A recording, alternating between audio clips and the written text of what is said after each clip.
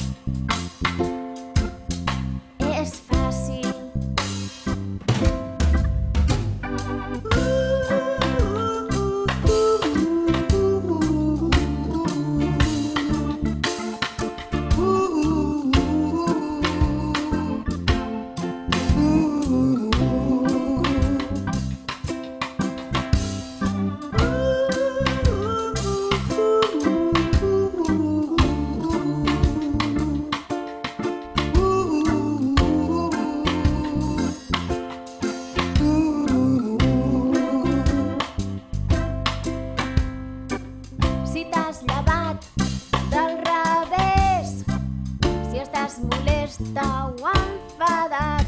Dom